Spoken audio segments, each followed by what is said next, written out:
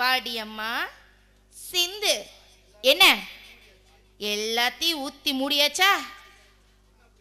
என்ன அப்படி பார்க்குற அதுதான். எதையோ பார்த்து பயந்து போய் இப்படி கருக்களைஞ்சு போனது மட்டும் இல்லாம கற்ப பையன் சேத்துல எடுத்து எரிஞ்சிட்டு வந்திருக்கிற? இனிமே உன்னால உன் மாமனுக்கு எந்த பிரயோஜனமும் இல்லை. இனிமே நீ தலைகீழா நின்னாலும் உன் மாமனுக்கு ஒரு வாரிசை பெத்து கொடுக்க முடியாதுடி. இப்போ உன்னை பொறுத்த வரைக்கும் ஒரு மரத்துல நெருப்பிடி விழுந்த மாதிரி இனிமே அது தளரவே தளராது. அதோட கெதி அவ்வளவுதான். இது வரைக்கும் வெளியில மட்டும்தான் ஊனமா இருந்த. இப்போ உள்ளயும் ஊனமா இருக்கு. ஆமா தெரியாம கேக்குறேன். இதை எப்படி உன் மாமா கிட்ட நீ சொல்ல போற? சொல்ல சொல்லு நான் என்ன பாவம் செஞ்சேன் இப்படி இப்படி ஆனது நான் எப்படி அவர்கிட்ட போய் சொல்லுவேன்? இதை விடு. சொல்றதெல்லாம் அப்புறம் இருக்கட்டும். இவன் பெரிய இன்ஜினியர் பெரிய கோடீஸ்வரன். அவனோட வாழ்க்கை அழிஞ்சு போகணுமா? அவனோட சாதனைகள் அத்தனையும் முறிஞ்சு போகணுமா? புரியலையா? இனிமே உன்னால் அவனுக்கு ஒரு வாரிசை தரவே முடியாதுடி. இங்க பா. இப்போ என்னடான்னா காலும் போய் கர்ப்பப்பையும் போன உடனே கடைசி வரைக்கும் ஒரு ரூமுக்குள்ளேயே வச்சு அவன் என்ன உனக்கு கடைசி வரைக்கும் பூஜையா பண்ணிட்டு இருக்க முடியும்? இங்க பாருடிமா உன்னை நான் மிரட்டல. திட்டல. கொஞ்சம் யோசனை பண்ணி பாரு. உன்னால அவனுக்கு ஒரு குடும்பத்துக்கு ஒரு வாரிசு பெற்ற தர முடியுமா? நல்லா யோசனை பண்ணி ஏன் ஒரு முடிவெடு? அம்மா. இங்க பாரு பாரு பாரு. நீ எந்த அர்த்தத்துல என்ன அம்மானு கூப்பிடுறேன்னு எனக்கு தெரியாது. ஆனா நீ உண்மையாலுமே என்ன அம்மானு கூப்பிடுற மாதிரி இருந்தா நான் சொல்றத நீ செய்யணும். செய்வியா? செய்யறம்மா நீங்க தான் என் அம்மா. கண்டிப்பா. நீங்க என்ன சொன்னாலும் நான் செய்யறேம்மா அப்போ ஓகே அப்போ என் தலைமையில கைய வச்சு என் அம்மா மேல சத்தியமா? என் அம்மா சொல்றத நான் செய்வேன்னு சத்தியம் பண்ணு. பண்ணுடி. செய்யறேம்மா சத்தியமா. என் அம்மா நீங்க தலை மேல. உங்க மேல சத்தியம் சொல்றேம்மா. நான் கேக்குறேம்மா. அரிதார பூசினா அழைச்சு தாண்டி ஆகணும். வாழ்க்கைன்னு இருந்தா தொலைச்சு தாண்டி ஆகணும். இங்க பாரு உனக்கு பிறவியிலேயே கால் ஊனமா போயிடுச்சு. அந்த ஆண்டவன் படைக்கும் போது உன் வாழ்க்கையும் ஊனமா இருக்கணும்னு படைச்சிட்டான் என்ன பண்றது? இது நீ செஞ்ச பாவமோ? இல்ல உன்னை பெத்தவங்க செஞ்ச பாவமோ? யாருக்கு தெரியும்? பாவம் யார் வயித்துல பிறந்தையோ தெரியல. ஒரு அனாதை வீடில வளர்ந்து இந்த வீட்டுக்கு மருமகளா வந்துட்டேன். ஆனா உன் வாழ்க்கை சந்தோஷமான வாழ்க்கை இல்ல நிர்மூலமான வாழ்க்கை. இந்த வாழ்க்கையில வர்றது கஷ்ட கஷ்டத்தை எல்லாம் நீ அனுபவிக்கிறது நியாயம். இன்னும் கட்டிக்கிற ஒரே பாவத்துக்காக சரவணனும் இந்த தண்டனை அனுபவிக்கணுமா? கொஞ்சம் யோசனை பண்ணி பாரு. இங்க பாருமா நீயும் சரவணனும் முறைப்படி ரிஜிஸ்ட் மேரேஜ் பண்ணிட்டீங்க. அதே முறைப்படி நீ அவனுக்கு டைவர்ஸ் கொடுக்கணும். அம்மா? ஆ அம்மா நான் சொல்றேன். நீ இத செய்யணும். செஞ்சுதான் ஆகணும். இங்க பார். அவன் வேற ஒரு கல்யாணம் பண்ணி இந்த குடும்பத்துக்கு ஒரு வாரிசு கொண்டு வரணும். நீ இருந்து செய்ய வேண்டியத இப்ப வேற ஒருத்தி வந்து செய்ய போறான் அவ்வளவுதான். இதுல வேற ஒண்ணும் இல்ல. செய்வியா? செய்ய மாட்டியா? அம்மா. ஏ மனசு ஒத்துக்க மாட்டேங்குதோ? உறுத்துதோ? இங்க பாருடி. நீ என் மேல சத்தியம் பண்ணிருக்க நிச்சயமா நீ செஞ்சுதான் ஆகணும். வேற வழியே இல்லை. இங்க பார் நீ என்ன பண்ணுவியோ ஏது பண்ணுவியோ தெரியாது. சரவணனை டைவர்ஸ் பண்ணியே ஆகணும்.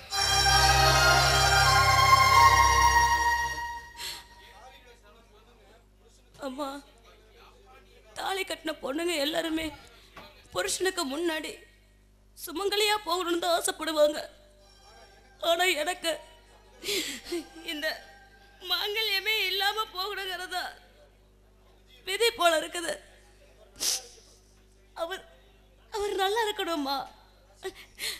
நான் ரசிச்சு மனசார வெறுமனை ஏ தங்கம்.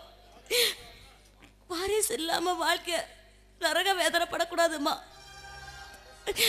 அம்மா கடைசி வரையிலும் ஒரு குடும்பம் குழந்தைங்களோட சந்தோஷமா இருக்கணுமா நான் அதுக்கு எனக்குமே தடையா இருக்க மாட்டேம்மா. அம்மா நீங்க சொன்ன மாதிரியே நான்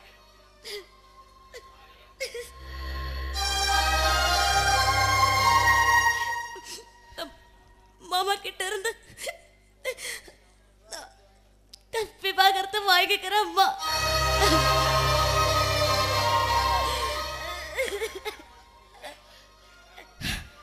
இங்க பாருடி கால் போன உனக்கு ஒரு வாழ்க்கை கொடுத்து. நல்லபடியா கடைசி வரைக்கும் வாழ வைக்கணும்னு அவன் நினைச்சான். ஆனா பொண்ணுக்குமே உதவாத நீ அவனுக்கு ஒரு வாழ்க்கை கொடுத்து உதவி பண்ணணும் இல்லையா? அதுதானே நியாயம். இங்க பாரு இதெல்லாம் போய் ஆமா தான் சொன்னாங்க அப்படி இப்படின்னு சொன்னேன்னு வச்சுக்கோ. நிச்சயமா அவன் இதுக்கு ஒத்துக்க மாட்டான்டி. ஆனா நீயா சொல்ற மாதிரி பக்குவமா அவன்கிட்ட எடுத்து சொல்லி அவனுக்கு புரிய வச்சு கையெடுத்து வாங்கிட்டு வரணும். புரியுதா? இதெல்லாம் நான் எனக்காக சொல்லலாமா எல்லாம் உன் மாமனுக்காக. அதான் நீ ரசிச்சியே. உன் புருஷன் சரவண அவனுக்காக செய்யணும். அம்மா ஒரு பொண்ணுக்கு புருஷங்கிறவர் கடல்ல இருக்கிற தண்ணி மாதிரி. அந்த தண்ணியை மீன் மட்டும்தான் குடிக்க முடியும். என் மாமா கூட நான் மட்டும்தான் வாழ முடியும். ஆனா இப்போ அந்த மீன் நான் இல்லைம்மா. அவர்கிட்ட எப்படியாவது பேசி இதுக்கு நான் சம்மதிக்க வச்சிடுறம்மா. அம்மா மலையிலேருந்து வர தண்ணி அருவி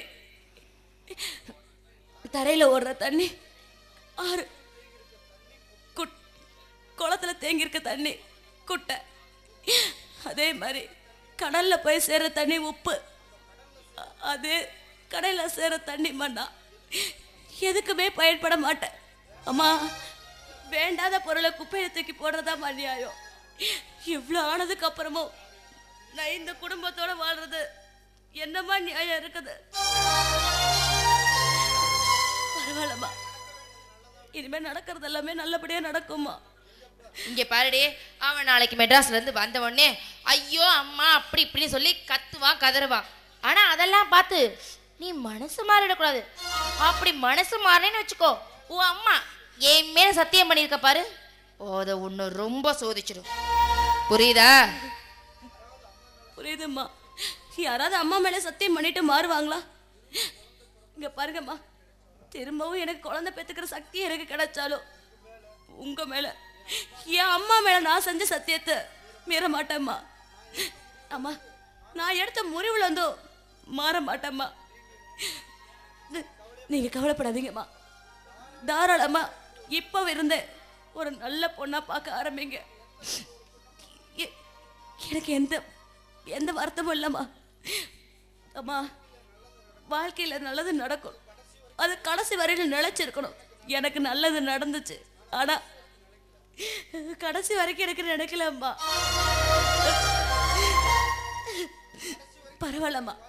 கடைசி வரைக்கும் நிலைச்சு நல்லா இருக்கிற வாழ்க்கை என் மாமாவுக்கு கிடைக்கணும்.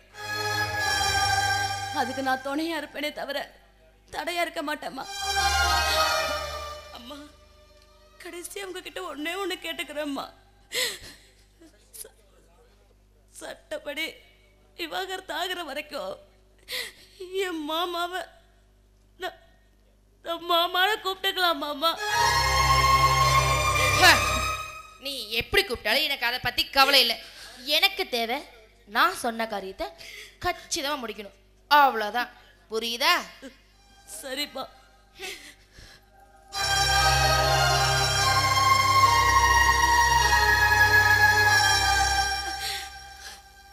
அம்மா எந்த நேரத்துலம்மா என்ன பெத்த? உன் மேல சத்தியம் பண்ணிட்டு நான் மாறுவேடாமா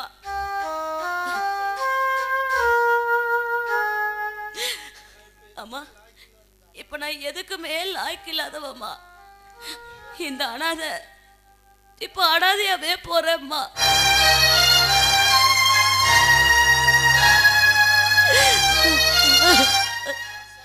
அம்மா நம் நம் மனசார சொல்றேம்மா.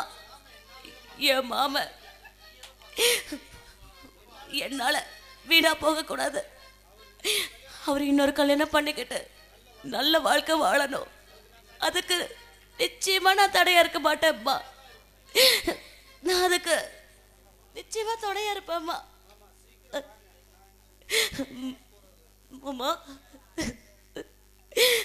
சீக்கிரம் வாங்க மாமா நான் உங்க கூட வாழ போறது இன்னும் கொஞ்ச நாளைக்கு தான் மாமா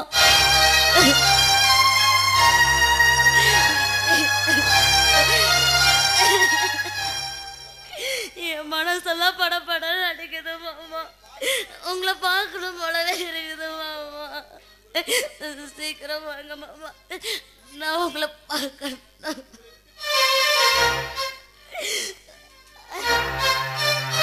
அப்பா இந்த பாவத்தை பண்ற? ஏன்டா இந்த பாவத்தை பண்ற? இந்த பாவம் செய்து உன்- உன்னோட முதல் குழந்தை எப்படி ஊனமா பிறந்தது? அதுக்கு போய் இப்படி ஒரு பாவத்தை பண்றிய முத்துச்சாமி. இப்படி ஒரு பாவத்தை பண்ணிட்டிய முத்துச்சாமி.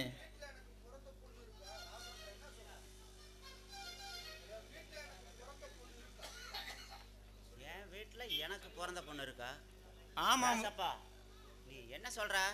ஆமா முத்துசாமி. உன் முதல் குழந்த எப்படி ஊனமாக பிறந்தது? அந்த குழந்த என் மனைவிக்கு பிடிக்கலன்னு சொ- சொல்லி என் கையில் கொடுத்து இதை கண்காணாத இடத்துல தூக்கி எறிஞ்சிரு. இதுக்கு எனக்கு எந்த சம்பந்தமும் இல்லை அப்படின்னு எங்கிட்ட உ- உறுதி வாங்கிட்டு கொடுத்தியே அந்த குழந்தை வேற யாரும் இல்லை. இந்த சிந்து தானப்பா கால் ஊனமாக பிறந்த காரணத்துக்காக அவள் என் மனைவிக்கு பிடிக்கலைன்னு தூக்கி எரிஞ்சியே அந்த சிந்து. பிறந்தப்ப நீ இப்போ பண்ணின கொடுமை பண்ண பத்தாதுன்னு அவ வாழும் போதும் பண்றீங்களே. இது எந்த விதத்துல நாயம் முத்துசாமி கூப்பிடுறோம் பொண்டாட்டிய. இந்த உண்மை ஊருக்கே தெரியட்டும். வனஜாமா வனஜாமா ஆமாம்பா என்னம்மா அப்படியே திகைச்சு போய் நிற்கிறீங்க என்ன அடையாளம் தெரியுதா? இருபது வருஷத்துக்கு முன்னால உங்க வீட்டு கணக்கு புள்ளியா இருந்த ராசப்பன் தான் பண்ணா. உங்க வீட்டு கணக்கு ஒன்று தப்பா போச்சு. அதை சொல்ல சரி செய்தா வந்திருக்கிற.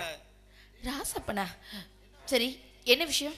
உங்க நெஞ்சில ஈரம் இறக்கம் ஒன்று இருந்தா நான் சொல்லறத கேட்டுட்டு நல்ல முடிவெடுங்க.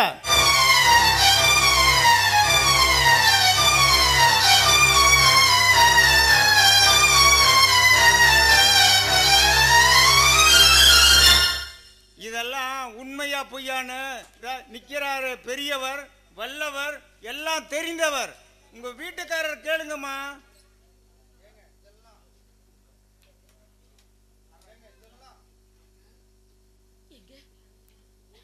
அவர் சொன்னதெல்லாம் உண்மையா?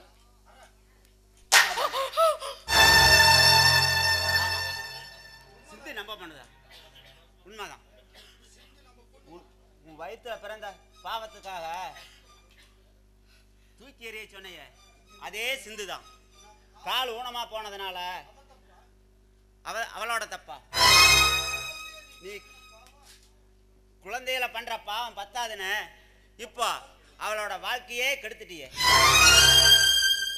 உன் வயிற்றுல பிறந்த பாவத்தை விட சிந்து செஞ்ச பாவம் என்னடி தப்பு? உனக்கு நான் புருஷனா இல்லாம சொன்னதுக்கெல்லாம் சாமி மாடு மாதிரி தலையாட்டிக்கிட்டு இருந்தானே. அதுக்கு அந்த சாமியே கொடுத்த தண்டனை தான் இது. இனிமே இனிமே இதுக்கு மேல எந்த கஷ்டம் வந்தாலும் என் பொண்ணு பொண்ணுக்கு இனிமே என்னால் தாங்கிக்க முடியாது.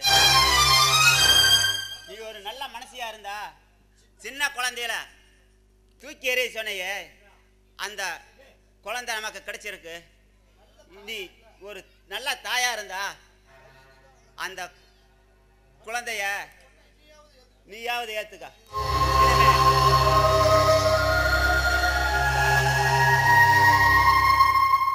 இல்ல. நீ ஒரு ச- மனுஷியா இரு. இல்ல. நீ ஒரு மனு மனுஷியா இருந்தா அந்த பொண்ணை நம் நம்மளே ஏத்துக்க. இல்லைனா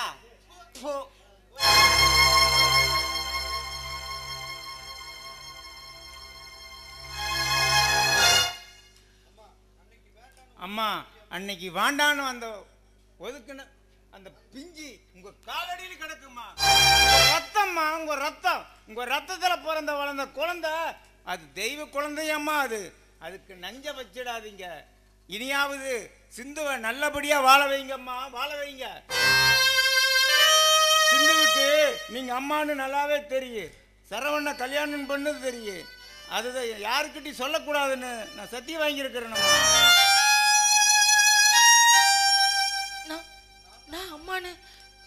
அவளுக்கு தெரியுமா? தெரிஞ்சிருந்தா இத்தனை சித்திரவதை பொண்ணையும் பொறுமையா இருந்தா எப்படி அவனால இத்தனை தாங்கிக்க முடிஞ்சது? அம்மா வேண்டாம்மா. மீண்டும் மீண்டும் அவன் மனசு நோகடிக்காதீங்க. இனியாவது அவளுக்கு அம்மாவை நடந்துக்க முயற்சி பண்ணுங்க. அப்புறம் ஆண்ட விட்ட செயல். ஆண்டவனே!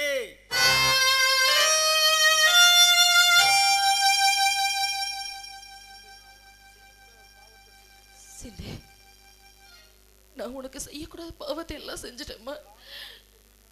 சத்தியமா நான் வேற யாரா ஒரு பொண்ணுன்னு நினைச்சுதான் இப்படிப்பட்ட காரியத்தை எல்லாம் செஞ்சுட்டேன்.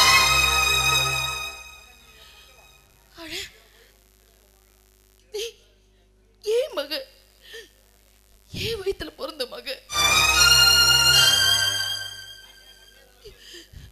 நான் நான் உன்னை தூக்கி எறிஞ்சிட்டேம்மா. நான் அன்னைக்கு உன்னை தூக்கி எறிஞ்சேன். ஆனா இன்னைக்கு ஒரு ஆளாகி வந்து ஏன் முன்னாடி நிக்குது? இந்த பந்தா பகட்டு படம் இதெல்லாம் காரணம் காட்டி அன்னைக்கு நான் உன்னை தூக்கி எறிஞ்சேன். ஆனா ஆண்டவன் நீ கடைசி வரைக்கும் இந்த பிள்ளையோட தான் வாழணும்னு என்கிட்ட கொண்டு வந்து சேர்த்துட்டானே.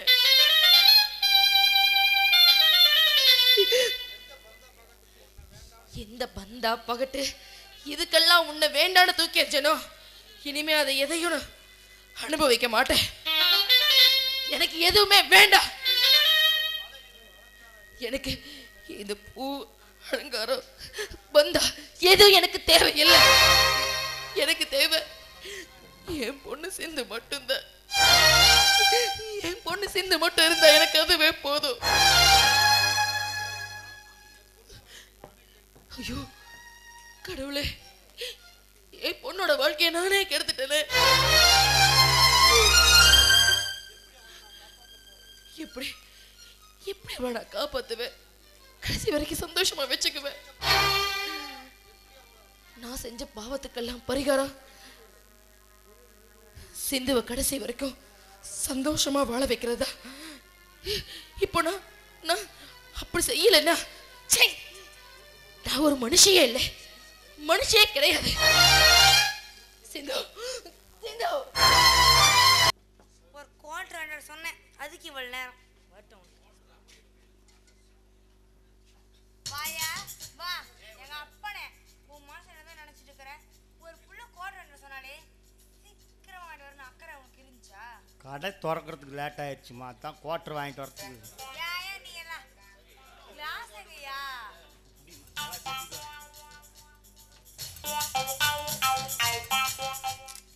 நூறு ரூபா கொடுத்தேன். அறுபத்தஞ்சு ரூபா குவார்டர் எழுபது ரூபாம்மா ஓ அஞ்சு ரூபா வச்சா விலை ஏறி போச்சு. மீதி முப்பது ரூபா என்ன பண்ண? முப்பது ரூபா கொண்டு வந்துட்டேன் ஐயா. தொட்டு கிராம நான் எப்படியா குடிக்கிறது? ஒட்டு வாங்கிட்டு வந்திருக்கிறேங்க என்ன என்னய்யா? குடிச்சு பாரு. சீக்கிரம் சீக்கிரம். சீனமணி வர வந்துடுறேன். சீமணி வந்தா எனக்கு கொண்டாடுவான்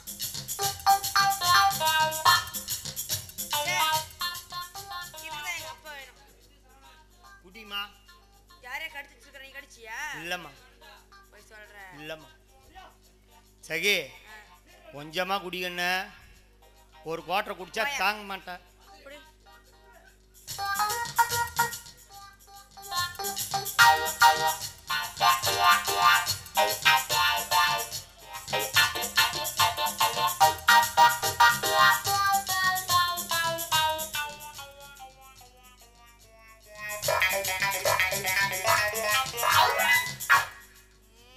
கண்ணு சகி. கொஞ்சமா குடிமா ஒரு கோட்டை குடிச்சா தாங்க மாட்டேன் போல வந்துட்டா நீ என்ன பண்ணுவீன்னு உனக்கே தெரியாது. போயா? ஆ? சின்ன மணி வந்துட்டாமா பார்த்து உஷாராரு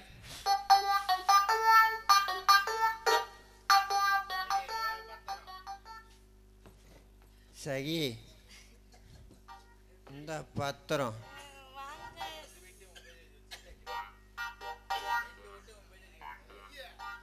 சகி சகி இந்தா என் வீட்டு ரெண்டு வீட்டு பத்திரத்தையும் உனக்கு எழுதிட்டு எழுதிட்டு வந்துட்டேன் இந்தா புடி உன்னை வரல. பத்திரம் ஆ. ஆ. ஐயோ பத்திரம் கிழிஞ்சு போச்சு பத்திரம் கிழிஞ்சு போச்சு. இங்க பாரு சிமணி இந்த ஊடு எனக்கு பெருசு இல்ல. உன் மனசு தான் பெருசு. ஏதோ நீ தரதுக்கோசரம் நான் வாங்கிக்கிறேன். என்ன? என்ன உன் வீட்ல பாத்திரம்லாம் இருக்குதா? ஆ எல்லா சாமானும் பெருசு பெருசாவே இருக்குது. அந்த வீடும் பெரிய இருக்குதா?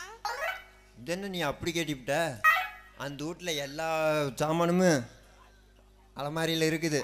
அந்த வீட்டுக்கு போய் நீ நானும் வா ரெண்டு பேரும் அந்த வீட்டில் போய் குடும்பம் நடத்திடலாம்.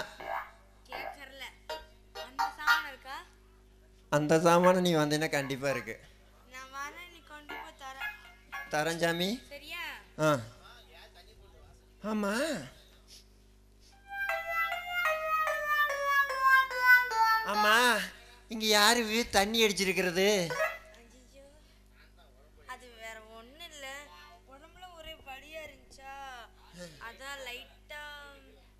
எது? நீ தண்ணி அடிப்பியா?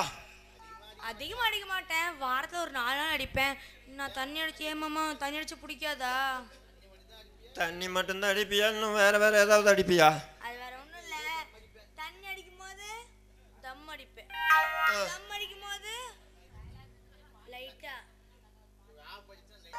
ஒரு ஆஃப் ஒரு குவார்டர் ஒரு ஃபுல்லு ஒரு ஆஃப் அடிச்சேன்னா சீட்டு விளையாடுவேன்.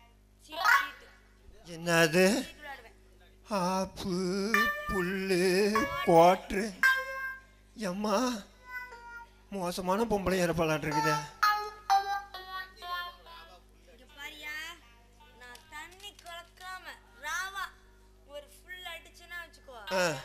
அப்படி சேலை தூக்கி தூக்க மாட்டேன் பாத்துருவேன். ஆமாம் சேலை தூக்கி அப்படி சொருவி. அப்படி ஒரு காமெடி பாட்டு அண்ணா. ஒரு ஒரு பையன் கூட ஏஞ்சி போவே மாட்டான். இப்போ யார் தான் எந்திரிச்சு போனா? பேசாதடா வாய் மேல அடிச்சிருவேன். சரி சகி. நீ புல் அடிப்பங்கிற. இப்போதைக்கு நீ ரொம்ப போதையில் இருப்பியாட்டு இருக்குது. எதா இருந்தாலும் நாளைக்கு பேசிக்கலாம். நான் வரட்டுமா? நான் இந்த போதையில மட்டும் இல்லடா. அந்த போதையிலும் தான் இருக்கிறேன். எந்த போதையில்? சட்டையை கழட்டிட்டு கட்டில பாடு. சாமி நீ இருக்கிற அந்த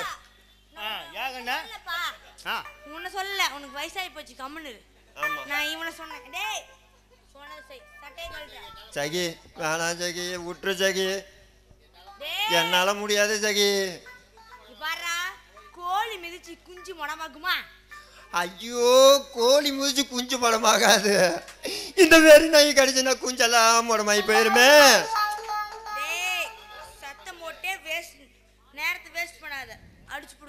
மழை வேற வந்துடும் இங்க பாரு லுங்கியை கழட்டிட்டு அது என்ன பலினா அதை கழட்டிட்டு ஜட்டியை கழட்டிட்டு பாடு அம்மா சாமி.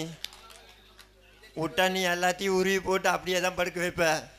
ஒரு கும்பிடு சாமி. என்ன ஆளை விட்டுரு வேணா சகி. சகி சொன்னா கேளு சகி. ஐயோ. என்ன இப்படி ரவுடித்தனம் பண்ணிக்கிட்டு இருக்கிற? ஏன் சகி. இப்படி ரவுடித்தனம் பண்ணினா. டவுசரோட ஒன்று கூட்டுருவேன். செத்த கம்முன்னு இரு. மூடுறான்ட்டேன். இப்போ உன்னால படுக்க முடியுமா முடியாதா? ஐயோ. ஆம்பளையாடா. ஐயோ. அதை இப்போ காமிக்கிற நேரமா அது. நீ சாதாரண பொம்பளை ஐயா. நல்ல மசனாய் வெறினி பிடிச்ச மாதிரியே இருக்குதுயா. ஆண்டவா என்னை காப்பாத்தி சகி நான் போறேன் என்னை விட்டுரு.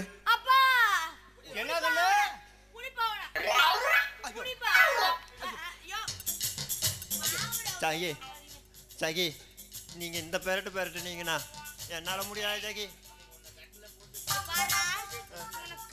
போட்டு நான் மேல படுத்து உன்னை போடல ஐயோ அம்மா. எங்க அப்பனுக்கு நான் பிறக்கல என்னப்பா சொல்ற அது உண்மைங்கண்ணு எது உண்மை பிறக்கலையா அது உங்க அம்மா அடுத்தா கேட்கும்? அம்மா எங்கப்பா எங்க அப்பனோட ஓடி போயிட்டான். நல்ல குடும்பம் பல்கலைக்கழகம். படு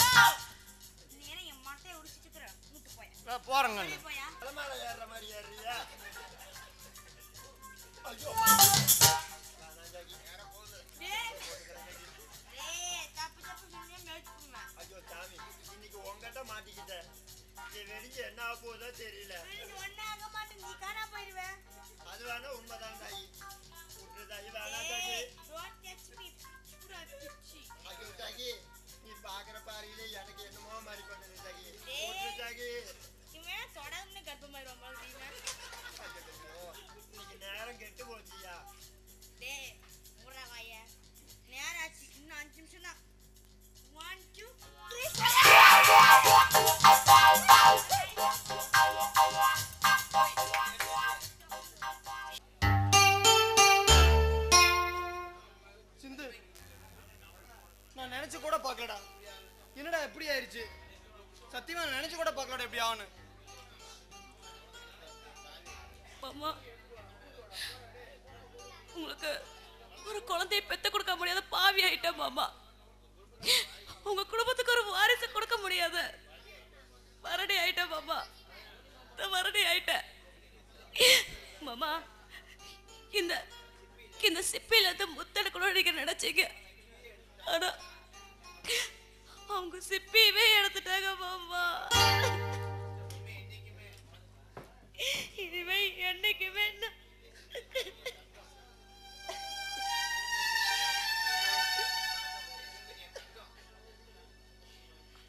சரிடா.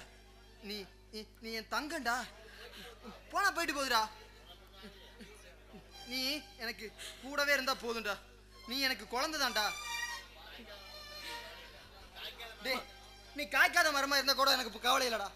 காலம் பூரா நெழுந்துற. ஒரு சோலையா இருந்தா போதும்டா எனக்கு. சோலையா இருந்தா போதும். மாமா எனக்கு மட்டும் ஏன் மாமா இப்படிலாம் நடக்குது? நான் யாருக்கும் யாருக்கும் எந்த துரோகமும் நினைக்கலையே மாமா. நான் என்ன மாமா பண்ணேன்? கெட்டது செய்யறவங்களுக்கு தான் கெட்டது நடக்கும்னா உலகத்துல கெட்ட விஷயமே இல்லாம போயிருமா? மாமா கால் ஊனமான என்னை கட்டிக்கணும் நீங்க லட்சியமா இருந்தீங்க. ஆனா நான் முழு ஊனம் வாங்கி உங்க லட்சியத்தையே நாசம் பண்ணிட்டேனே மாமா. போடா. லட்சியத்தை விட பாசம் தாண்டா பெருசு. நான் உன் மேல வச்சிருக்கிற பாசத்துக்காக உனக்கு இன்னும் ஆயிரம் ஊனம் ஏற்பட்டாலும் நான் தாங்கிக்குவேன். மட்டும் மனசு விடாதடா. நீ மட்டும் மனசு விடாத. இப்ப என்ன? நமக்கு குழந்தை தானே இல்ல? நான் எப்பவுமே உனக்கு குழந்தை தான். நீ எப்பவுமே எனக்கு குழந்தை தான். வேற எதுக்குடா நமக்கு குழந்தை? இப்ப குழந்தையே இல்லாம எத்தனையோ புருஷன் பொண்டாட்டிங்க சந்தோஷமா வாழல? அவ்வளவு ஏன்? எத்தனை அனாதை குழந்தைங்க இருக்காங்க? அதுல ஒண்ணு எடுத்து தத்தெடுத்து வளர்த்துனா அது நமக்கு குழந்தை தானே? நல்லா தெரிஞ்சுக்கடா. நம்ம வயித்துல பிறந்தாத்தான் அது நம்ம குழந்தையா? ஹம். நாம விரும்பி ஏத்துக்கிட்ட எந்த குழந்தையும் அது நம்ம குழந்தை தான் கவலை விடு. எப்படி மாமா? எப்படி மாமா?